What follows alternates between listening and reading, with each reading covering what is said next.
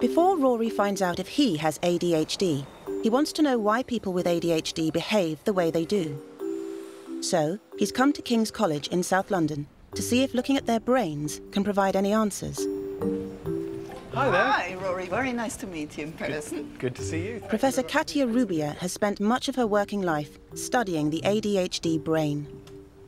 So what I'm really keen to find Yeah. out is, is, is an ADHD brain different? Yeah. How is it different? Yeah, it is in fact very different, both in the structure of the brain and the function of the brain. So you could say the hardware of the brain and the software of the brain both is, is underdeveloped. Okay. So what, what are we looking at here? These are slices through the brain. So we're, are we So looking from the top Yes. down, like Yeah. the camera's here? Yeah, this would be the top, and then you go down. So this is around the eye levels, and this is sort of lower part. So Oh, I these see. horizontal Okay. cuts through the brain. Okay. And that's an MRI image, and uh, this is based It's on like the brain carpaccio. Yes, exactly. What jumps out are the, the yellow areas. Uh, what, what, are, what are we looking at there? Yeah. So the yellow areas are areas which are smaller in ADHD compared to healthy controls. And the areas we found are most consistently uh, smaller in structure are these frontal lobe regions, uh, which is in the frontal part of the brain, and the basal ganglia deep in the brain. And the frontal lobe and the basal ganglia are connected. Okay, so what do those parts of the brain actually do? These parts of the brain, they mediate many functions, which are very important for mature adult behavior. For example, the ability to self-restrain yourself, to inhibit yourself. In ADHD patients, of course, they have a problem with self-control. Impulsive. Yeah. Impulsive, yeah, exactly. They're impulsive. They they also mediate attention. Uh, they also have a problem with timing behavior. For example, uh, you know, they, if you are impulsive, you do things prematurely, too early in time, and you don't consider the consequences of your act. So you, you act in the spur of the moment, and later you think. Oh, so it's like, like having a filter, really, isn't it? Something that will stop you from doing something inappropriate or Yes, saying something yes. Ex- out of turn or ex- interrupting. Yes, exactly. The degree of inattention and impulsivity will vary from person to person, just as the changes in brain structure will vary too. So I have an example of a test which we use to measure self-control in ADHD, and this task is the, the, the, the performance on this test is typically impaired in, in children with ADHD. So it's called the stop task. Do you want to try? Yeah, sure, absolutely. Okay, right.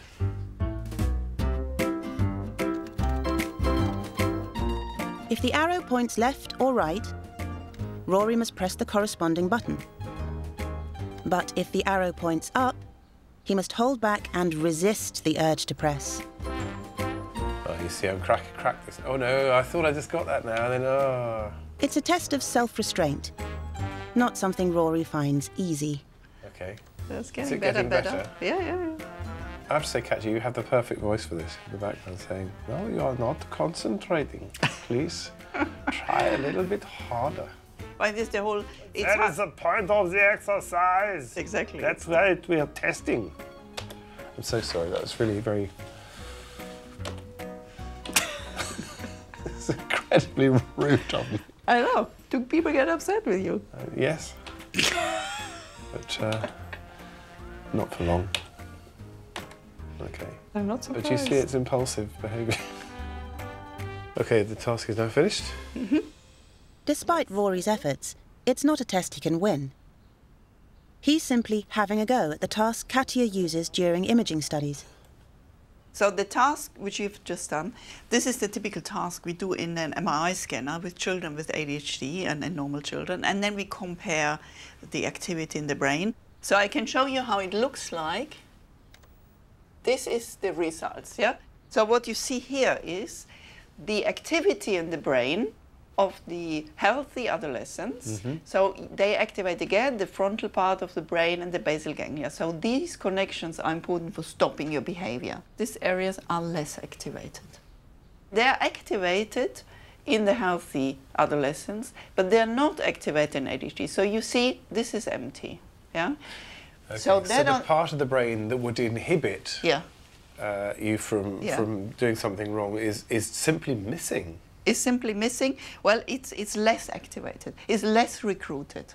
Yeah? And that's why they're not good in the task. That's a big assumption, by the way, I just got to say. But I do find you very attractive, so that's okay.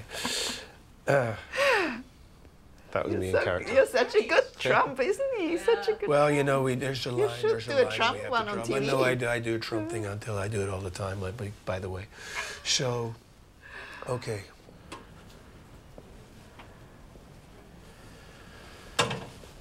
So, I think what really struck me there was I was expecting to see in an ADHD brain, I was expecting to see oh, all sorts of activity, you know, all the, all the fun and all the kind of Catherine wheels and all that, and, and being able to say that, "Do you know what, actually, we're so much more clever and we're so much, uh, we have so much more fun. Uh, and instead, there was kind of like a silence saying, well, where, where is it? Where, where's, where's all that stuff that we need? Where's all that? Where's where where are the networks? Where's where's all these things that typical people have? Where is it?